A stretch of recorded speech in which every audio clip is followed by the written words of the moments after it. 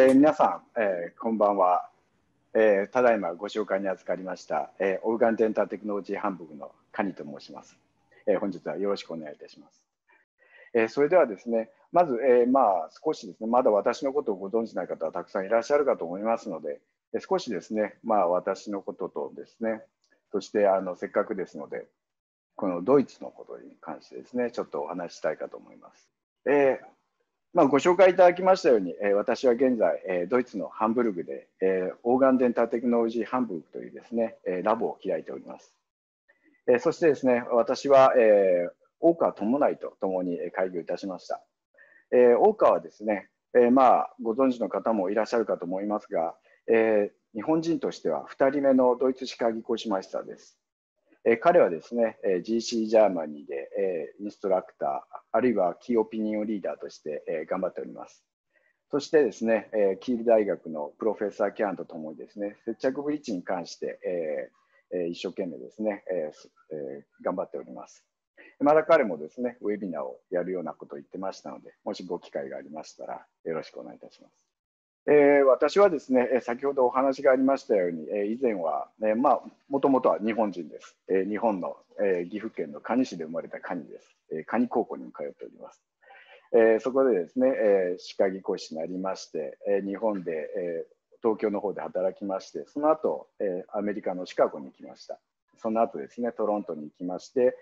えー、先ほどお話がありましたようにですね、まあ、いろんな国に行ってみたい、えー、技工士ですので自分の腕でですねいろんな、えー、国に行ってみたいと思っていたんですけども、まあ、そういった意味でアメリカカナダと行ったんですが、まあこえー、結婚しまして、まあ、子供も生まれましたので、まあ、定着しないとなと思いましたので、まあ、それでですね、えー、妻の、えーえー、故郷である、えー、ハンブルクの方に来ました。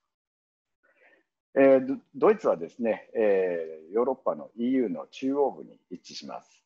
えー、周りをですね、えー、10カ国くらい、えー、国境を、えー、接しています。そしてハンブルグなんですけども、えー、ドイツの北の方にあります。あまり知られていないんですけども、えー、ベルリンに続き2番目に大きな町です。そして町にはですね、大きなエルベ川という、えー、川が流れています。そして昔からですね、港湾都市として栄えておりました。そして町の中央にはですね、えー、アルスター湖という大きな湖があります。そしてこれが市庁舎なんですけども、えー、ハンブルグは市でもあり、そして州でもあります。えー、とても綺麗な町ですし、えーまあ、この市庁舎もですね、とても綺麗な市庁舎です。そしてこの広場ではですね、毎年いろんな催し物が繰り広げられています。え特にですね、え冬のクリスマスマーケット、これが一番楽しみな時期です。そしてまあ大人はですね、えー、グルーワインと呼ばれるですね、えー、温かい、まあ、香辛料の効いた、えー、ワインを飲んで、そして子どもたちはですね、プンシュと呼ばれる、えーまあ、フルーティーな、これもちょっと香辛料の入ったような、そういったですね、飲み物、あるいは温かいココアなどを飲んでですね、街中を散策したします。一説によると、この本来本家のですね、水の都のベニスよりも橋の数は多いそうです。まあ、そういった関係もありまして、街の中にはこういった水汲みのおじさんがですね、まあ、街のシンボルとして至るところにあります。そして、えー、私もこちらに来て初めて知ったんですけども、えー、ニベアですね、クリームのニベア。今日も私も塗ってきました。えー、ニベアがですね、えー、ハンブルグの発祥の地です。えー、ドイツではですね、この市営のバスのですね、外装にこういった広告をプリントします。えー、ここにはですね、ケラミックシュタト・クンシュトと書いてあります。えー、つまりですね、えー、まあ、葬儀師を辞めて、えー、オロン6のインプラントでジルコニアはいかがですかというですね、広告になります。こちらではですね、え、このようにラボでもですね、こういった広告を打ち立てることができます。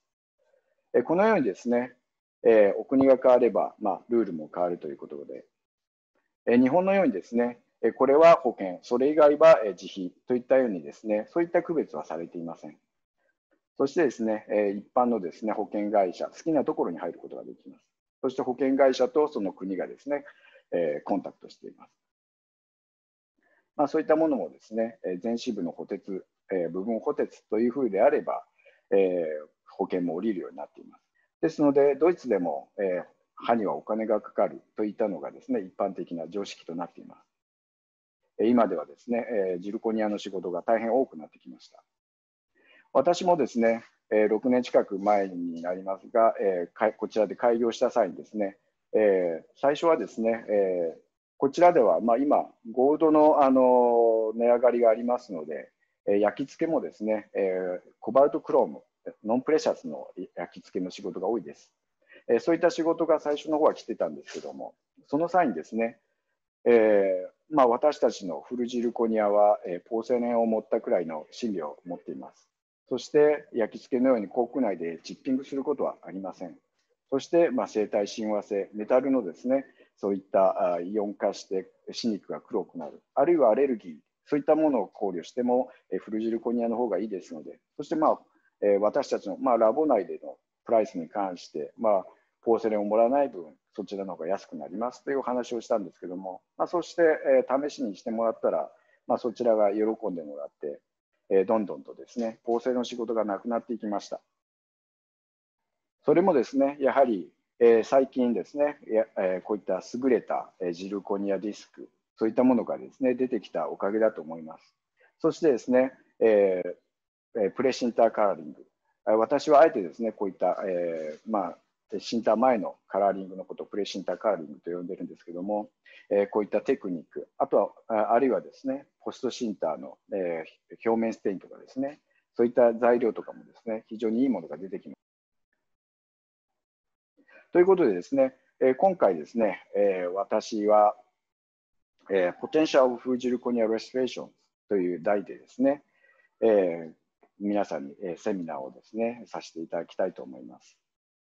え、今までの、まあ、一般的には、えー、フルジルコニアとなると旧支部、あるいは大きなものであったと思います。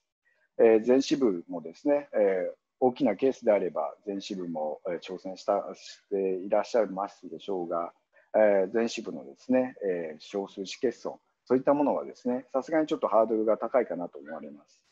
私自身もそうだったんですが、えー、実際ですね、いろいろ試していく上でいけるんじゃないかなと思い、えー、そしてですね、現在臨床においても、えー、そういった、え、全支部のですね、少数値欠損、そういったものもですね、フルジルコニアで対応するようにもなってきました。今回はですね、まあ、私のレベルになってしまいますが、え、このような、えーまあ、レベルで、え、仕事が現在ですね、フルジルコニアでも行われ行うことができるといったようなですね、症例をですね、お話ししながら、そしてですね、本来、私たちが作るものは歯です。ですので、歯をですね、歯のデンチンとエナメル、そういった構造をですね、模倣する必要があります。フルジルコニアにおいてですね、ジルコニアのディスクというのは縦にですね、立体的になってきますが、内面の電池、エナメルといったものはできていません。そういったものをですね、どう表現するか、そういったことに関してですね、今日はちょっとお話ししたいかと思います。えこれはですね、4Y と呼ばれるものですね。え 4Y と呼ばれるジルコニアの、えグラデーションのディスクになります。えそしてですね、えまず削り出した後にプレシンターで色を入れて、えシンターを行い、研磨を行い、そしてグレージングを行いました。その際にですね、え歯肉に関しては、まあ、あえてポーセレンを持っていません。えしかしですね、えー、ミオと呼ばれる、え、リキッドセラミックと呼ばれるもので仕上げています。これはですね、ちょうど、え、ステインと、え、ポーセレの合いの子のようなものです。ステインのいいところはですね、え、その場で色を塗りながらこう色を確認することができます。え、ポーセレのいいところはですね、えー、蓄積することができるわけですけども、まあ、なかなかそのその場で色を確認することができます。そのいいところをですね、ちょうど取ったものになります。色を確認しながら少しだけですね、そんな大量には盛らないんですけれども、軽くディテールをつけながら盛り上げていてですね、そして1回焼くことによって、これくらいのレベルですね、色を出すことができます。このようにですね、ステイン、グレージングのテクニックに関してもですね、素晴らしいマテリアルが出てきました。そしてこういったものを使うことによってですね、表面の立体的な透明感というのをですね、出すのにもいい、え、材料ににもなってきました。え、他のメーカーのも使っていますし、えー、他のメーカーさんのもですね、色を出すといった意味では、えー、すごくいいものであると思います。しかしですね、なかなか、えー、この、まあ、色をつけるというのはですね、色をつける、あるいは色を濃くする、そういったものは簡単にできるわけですけども、このオパシティを変える、そういった発想というのはなかなかないわけですね。オパシティを変えることのできる材料、そういったものに出会うことによって、非常に私のですね仕事の幅が広がってきました。一般的にはですね、このオペーシャス、ホワイトオペークなどを使ってですね、え、白石の色が悪いときにですね、その色を、隠す、そういったように使われることが多いと思います。その際にもですね、まあ、ここに、サンプルとして、5本出したんですけども、左からですね、何も塗っていないもの、そして、え、100%でホワ,、えー、オペーク、えー、ホワイトオペークを塗ったもの、そして、えー、ホワイトオペークに25%アンバーを混ぜたもの、そして50%混ぜたもの、75%アンバーを混ぜたものになります。なぜアンバーを混ぜたかと言いますと、えー、アンバーはですね、えー、このリキッドの中でも、まあ、暖かい色で一番、えー、濃い、えー、サイドを持っていますので、えー、やはりですね、えー、オパシティの高いそういったものにですね色をつけたい場合はやはりです、ね、ある程度濃いものが必要になってきますのでそれでアンバーと混ぜています。えー、全く塗っていないものと100%のオペ、えー、ホワイトオペークのものですね、見比べると分かりますように、えー、真っ白ですと、やはり表面にですね、すごく強く影響を及ぼしてきます。特にですね、マージン部もですねそ、そこまで塗ってしまいますと白く見えます。全体的に明度が上がり、そしてサイドが少し下がっているような感じになります。ですので、えー、あえて、えー、この、えー、アンバーとですね、混ぜることによって、え再度保つ。そしてですね、多少、えー、そのオパシティをちょっと下げるとか、そういった意味もあります。で、これ、えー、これらのですね、こう内面から外に出るオパシティの影響、これをですね、えー、私はですね、逆手に取りまして、天然紙によっては、年を取ることによってですね、エナメルが透明感を増し、そして中の電池が影響してくる、えー、そういったものが、えー、多く見られます。えー、そういった場合にですね、中の電池の影響をあえて出すためにですね、このように、え、ホワイトオペーク、あるいは、まあ、私がよく使うのはホワイトなんですけども、ホワイトと、そしてアンバーで色を調整して、内面に塗ることによって、光がクラウンの中に入って、そして中で反射をする、そういった、えー、ようにですね、えー、使うように、えー、なりました。これはですね、えー、ルーゼンのですね、えマルチプレミアムのディスクになります。えですので、上の層が、一番上の層がですね、え 5Y がメインになった、え透明度の高い部分になってですね、下の方に行くほど、え 4Y で、えオパシティの方が高くなってくる、えディスクです。えー、一番右はですね、100%のアンパーだけを塗っているものです。えー、一番上のじょ、えー、部分を見ますと、えー、やはりですね、ちょっとこう色が、えー、あまりはっきりは出てきています、ね。やはりですね、透明度の高い部分に、えー、そういった通常の透明度の高いですね、えー、色を塗ってもですね、淡くしか出てきません。そういった意味もありまして、えー、このアンバーをベースに、そのアンバーに少しですね、ホワイトを混ぜてあげる。そのことによって、オパシティを少し上げてあげます。え、そしてですね、えー、それその色を使って、えー、私はですね、えー、マメロンの色調を作ったりします。そして逆にですね、この、え左側に行きますと、えホワイトの方が強くなってきます。えホワイトに少し色を入れることによってですね、えインサイザーヘイロであったりとか、え白体、あるいはクラックライン、そういったようにもですね、え使うようにしています。このようにですね、え単純に色だけではなく、えそのオパシティをですね変えることによってさまざまな、えいろんなですね色の使い方ができるようになってきます。こういったようにですね幅の広い色を使うことによってより天然紙のですねディテールをですねえ表現することが可能になってきたと思います。え歯にはですねやはりいろいろな、え種類があります。いろんなこう見え方があります。え本来ですね私たちはその隣り合った天然紙をですね、え、に合わせる。そういった場合にはですね、その天然紙をですね、模倣しなければなりません。例えばですね、この左側のですね、写真になりますと、え、透明感があります。マメロンがはっきり出ています。若い葉のように見えますね。まあ、若い歯でも常にこう、えー、エナメルが、白いのか、そういったわけでもないです。こういったようにですね、透明感もあったりします。そしてその右隣ですね、になりますと、えーまえー、セッターの方が摩耗していき、そしてそこに着色が出てきます。そして年を取ることによってエナメルが透明感を持っていき、そして透明感を持つことによって中からの電池が反映してきます。そして真ん中の写真になりますと、全体的に透明感は高いです。しかし中の電池が影響しているかというと、電池もですね、どうやらこう透明感があるような暗、全体的に暗い感じの色調になっています。そしてその隣になりますと、え色がついている、色と思うとですね、まあ、電池が濃い、そういったイメージがあるんですけども、実際はですね、エナメル自身のですね、色を持っていまして、そしてエナメルの色自身が濃い、そういった場合もあります。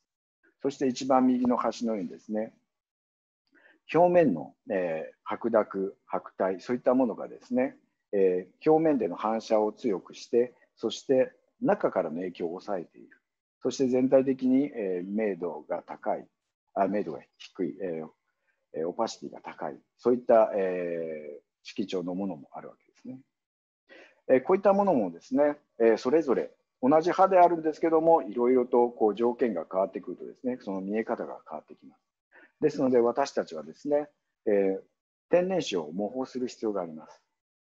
えー、ご存知の通り、天然歯というのは電池とエナメルとできていますえ。私たちはですね、この天然歯を模倣するために、今まで、えー、ポーセレンをですね、使って、えー、それを、その技術をですね、駆使して、えー、天然歯をですね、作ってきました。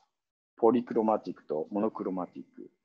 えー、電池とですね、えー、ボディといった、えー、色調のですね、えー、システムがあります。えー、ボディの、えー、電池の場合、電池とエナメルという、えー、ポーセレンになってきます。例えば、まあ、クリエーションとか、そういったものがそうかと思います。えー、こちらのですね、右側のこの色見本、これはのりたけの色見本になります。えー、ここにはですね、オペシャスボディと書いてありますが、まあ、オペシャスボディ、えー、まあ、電池だと思ってください。電池の場合は当然、えーえー、透明度が少なく、不透明で、そして色が濃いです。それに対してですね、このボディというのは透明感があって、そして色が薄いです。っていうのもですね、えー、このシガの真ん中辺、ちょっとこう下の部分ですね。この辺の色を取ったわけです。つまり、ここではですね、ボディと、えー、ベンチンとエナメルを足して2で割ったような状況になるわけですね。え、これらにはですね、それぞれいいとこと、まあ、悪いとこというわけじゃないんですけども、難しい部分があります。デンティンとエナメルというシステムはですね、当然天然歯と同じような形態を取れますので、例えば斜めから見たときに、エナメルだけが見えてくるとか、えエナメルが透明感があるから中の電池が出てくる。そういったですね、細かいディテールとかもですね、表現することができます。その代わりですね、蓄成したときと、その調整し終わって形態修正するときにですね、そのプランが違ってきますと、電池が表面に出る。そのことによってえオペーキになる。あるいは電池のえが足りなくなり、エナメル、あるいはトランスが多くなってしまって暗くなる。そういったようなですね、扱いに難しさがあります。そういった意味ではですね、このボディというのはえ、色がですね、透明感がありますので、表面に出てもさほど問題はありません。まあ、今回はですね、えこのポーセレのお話ではありませんので。では、私たちが使用しているこのジルコニアディスクにおいて、どういったシステムをとっているか。私たちのジルコニアの、えー、現在あるですね、そのマルチレイヤー、あるいはグラデーション、そういったものはですね、このボディのシステムをとっていると思われます。というのもですね、やはりディスクというのは縦にこう、えー、グラデーションをつけたり、色の違いであったりとか、そのオパシティの違い、透明度の違いというのを出していますが、えー、こういった中には違いを出していないわけですね。つまり、その、えー、表層でですね、えー、その、えー、歯の色を出さないといけません。つまりですね、このボディのシステム、電池をエナメルを通して取った色、こういったものをですね、使用しているわけです。そういった場合ですね、こういったボディのシステムというのはですね、要するにその素材の良さ、その、え、マルチレイヤーの素材の良さ、色の良さをですね、そのまま活かせばいいわけです。そうするとですね、こういった、え、上額の6本前子といったですね、大きいケースであればですね、色というのは、え、隣に合わせるとかいうのもあまりありませんし、まあ、価格もですね、多少色が違ってもですね、それほど大きな問題はありません。え、自由にできるといった意味ですね、素材を生かすといった、そういった使い方ができるかと思います。プレシンターのですね、カラーリングはなくしてもですね、現在の、え、マルチレイヤー、あるいはグラデーション、きれいなものができます。しかしですね、えプレシンターで、例えば近縁心の透明度であったり、あるいはセッターの、えちょっと淡い、えオレンジ色であったり、そういったものをですね、入れることによって内面から色を出すことができます。そのことによって、より綺麗なものがですね、作ることができます。当然ですね、え表面ステインでもそれは作ることはできるんですけども、えどうしても表面ステインが多くなってしまいますと、ムラができてきたり、あるいはですね、え表面にですね、気泡が出てきて、まあ、せっかく仕上がきれいに仕上がって、ちょっと研磨したら黒い黒点が出てしまったりとか、そんなようなこともありえますので、まあ、私としては、先にプレシンターを行って、ある程度色を、え終わらしておいて、決めておいて、最後のその色の微調整といった感じで、え表面ステインを使用しています。で、大きいケースじゃなくてもですね、こういった小さいケース、え少数紙においてもですね、えそういった、え使用の仕方ができます。例えばですね、このケースなんですけども、えこの患者さんを見たときにですね、私は、え即思ったのがですね、おマルチプレミアムの A3 でちょうどいいんじゃないかなと、ちょうどオパシティとかそういったものが合ってくると私は思いました。そしてですね、足りない色をですね、そこに足してあげればいいわけですね。例えばこのケース、A3 がメインになってきます。そして死刑部の方は A3.5 くらいのちょっとこうサイドが高くなってきます。そして全体の色素がちょこっと赤い方に寄っています。そして近近縁心の粒表面の粒線ですね、新面の。あるいは中央の粒線。ここにはですね、ちょっと白っぽいエナメルがかかっています。そしてその間が少し、えー、サイドが高くなっています。あそしてですね、この白いエナメル。こういった場合にですね、まあ、ポーセンとかでもそうなんですけども、えー、エナメルが白いからといってですね、全体に白いエナメルをポンとこう全体に、えー、持ってしまいますと、えー、そうすると、えー、明度がですね、えー、上がってしまって、えー、非常に、えー、不透明になってきてしまいます。えー、この表面がですね白っぽいものというのは大抵ですね中には、えーえー、通常のですねエナメルの透明感があります。そういったものをですね考慮する必要があります。そしてこのケースはですね、セッターが摩耗しています。あまり透明感がありません。ですので、マルチプレミアムでですね、えー、ネスティングする場合、マルチプレミアムはですね、こう4層になっています。5Y と 4Y、5Y というですね、透明度の高いもの、そして 4Y というですね、中中間的なもので、えー、強度のあるもの。それをですね、えー、ミックス、うまくミックスして、えー、レイヤーにしたものです。本来であれば、一番上の透明度の高い部分にですね、えもうちょっとセッタンを出したいところですが、この場合はですね、セッタンが摩耗しています。ですので、あえてですね、この、え、そういった透明感をですね、必要としませんので、ちょこっとこう下に、え、下げてあげます。このようにですね、ネスティングの際にも、え、ディスクのどの辺に、えネスティングするかによってですね、色調が変わってきます。表面清浄を入れる際にはですね、ちょっとこう強めに入れておきます。というのもですね、後ほどグレージングした際にですね、どうしてもちょっとこうフラットになりやすいです。といった意味も込めまして、最初の段階でちょっと強めに入れていきます。えー、サービカルリキッドの、えー、サービカルのですね、A、あ暖かい色といった意味でですね、ピンクの方を寄っているということで、A の色をですね、死刑部に塗り、そして、えー、新面のですね、流線の間、ちょっと濃かった部分塗っていきます。2回ほどでいいと思います。そして絶速面下。ここにはですね、私はまあ大体いつも4回くらい塗っています。そして、エナメルの3を塗ります。このエナメルの3はですね、えー、赤紫といったような色です。ピンク紫というか。えー、全体的にですね、色がこう赤い方にシフトしていました。えー、意味合いもありまして、えあえてですね、死刑部の方まで塗っています。このですね、中央からセッターにかけて、あえて塗っていない部分はですね、そこに白いエナメルがあったわけです。ですので、あえてですね、この明度を下げる必要はないということで塗っていません。で先ほどお話ししましたように、表面が白くてもですね、中には少しこう透明感があるものですね。ですので、そこでそういった軽い透明感を出すをですね、表現するために、えー、ティーグラスをですね、この両方のですね、近縁芯の粒子にこう塗っています。そしてこういったですね、摩耗したケースっていうのはですね、えー、大体、えーまあ、角度、摩耗した角度によってですね、この前から見たときに、えー、芯面のですね、えー、芯面の方のエナメルだけが見えてきます。